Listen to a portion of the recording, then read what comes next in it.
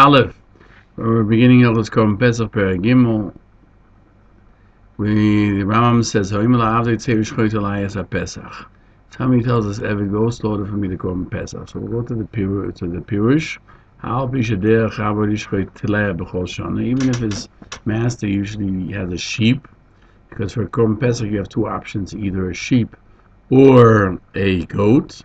And he went and slaughtered a goat. Or usually he slaughtered a goat. He slaughtered for his master a sheep. They can eat from it. She didn't tell him what he has to do. He says Pesach. And therefore he did not say give me only a sheep or only a goat. Amerikorka cites the Mishnah in Psochim 88b.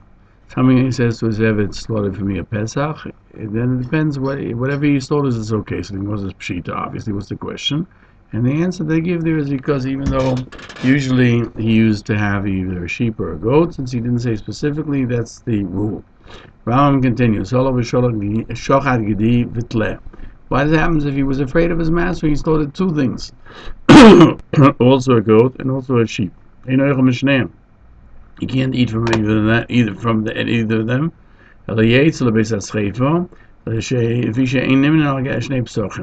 They have to go out to the to be burned because one cannot be counted on two psochim.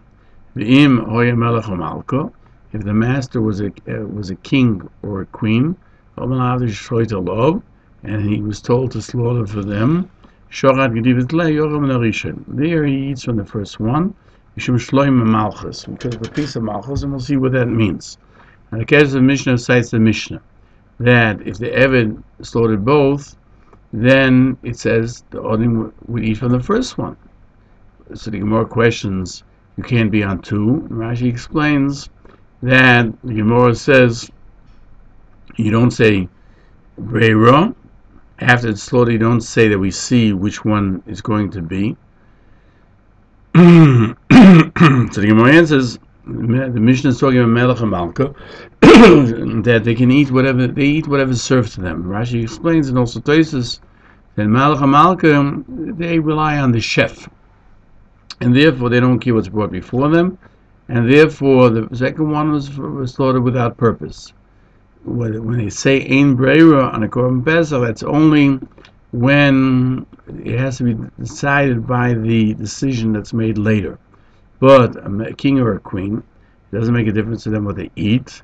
Therefore, if he doesn't know uh, what the Eved chose, it doesn't make a difference. It has nothing to do with Breira, because he'll eat whatever is given to him. Because the Mishnah explains, you should eat the first one by the Mishum Shlem Malchus. What does it mean, the peace of Malchus? If you tell the king that he shouldn't eat anything, then he might kill them, or he'll be angry with the chachomim. They can't eat from the from the any of them, uh, because he'll think you do have Breira. I think I chose this, therefore I can eat it. And therefore, they permitted that the king should eat from the Korban Rishon, and there won't be a problem with Shlom Malchus.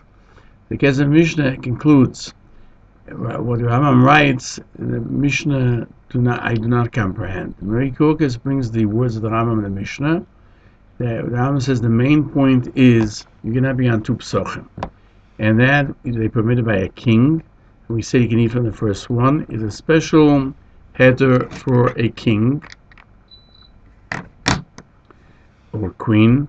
When they said go on Shechta Pesach, and they didn't say which type and uh, Marie questions how could in the Gemara would seem that it means it doesn't have to do with the king and queen nor the avodim, and it means basically they eat whatever it is, and that's Misrali with the Kesef Mishnah questions the words of the Rambam when he says um, Dasa Avodim. What does it mean? Where does this come into play?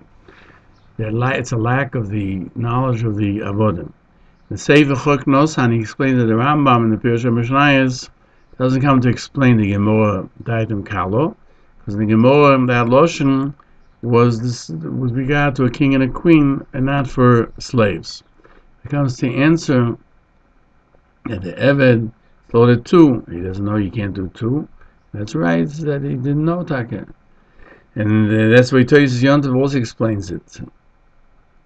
Toys Yontiv, and also he says that I think that the Rambam explains the Aitan Kalo, that the Avodim even, uh, don't know the halacha. And even though the Gemara, we only mentioned the king and the queen, they eat, their their thoughts are light in that they eat whatever's given to them.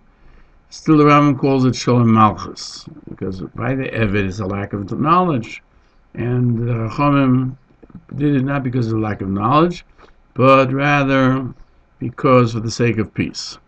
Now, we should point out that the whole question because of Mishnah and Marikurkis and the others in the Rambam is according to the text that they had. But we have a different text, which written in the Parish of Mishnah, that it's a lack of the knowledge of the rulers, because they didn't go into the depth into the halacha. And therefore the question falls to the wayside anyway as to whether we say Yesh Be'er or Ein Be'er, there's a machlokes Tanoim Amorim, and the Maskana Lochi is that in the Raisa uh, Ein Be'er, but the Rabbanon you say Yesh Be'er. The Taiz Yontif, Psochim Be'er Ches Mishnah Beis says that maybe from where we can prove the halacha of Ein in the Raisa is a chum of the Chachomim. Really Yesh Be'er. Because even a Torah ain't brave, how can the Chacham say that they can eat? what are the Chacham doing? They're uprooting the Deraisa. And so Yonta says it's not a proof, that it's more comprehensible that the rule of Ein Breira is in Torah. Still, we permit the king or queen to eat the first one because Shloim Malchus, because there's a rule we have in Hilchos Kedushin that some of you does something when he marries his wife, he does so according to the halacha that the Chachamim decide. And therefore, by the Siddur Kedushin, the Chacham decides whether it's Kedushin or not. So too, when one sanctifies a korban, it has to do with the Chachamim. And by Melech Malko, the Shlem Malchus, the Chachamim said, we decide the first one is going to be the, the, the korban, the second one is nothing. But they didn't want to do that by everybody because uh, Kedushin is different from Pesach because uh, there's no rule by Pesach uh, the had to make decisions on like Kedushin and furthermore Kedushin takes place throughout the ages whereas Korban Pesach is only one time of the year, one day of the year and only when the Beis HaMikdash is standing.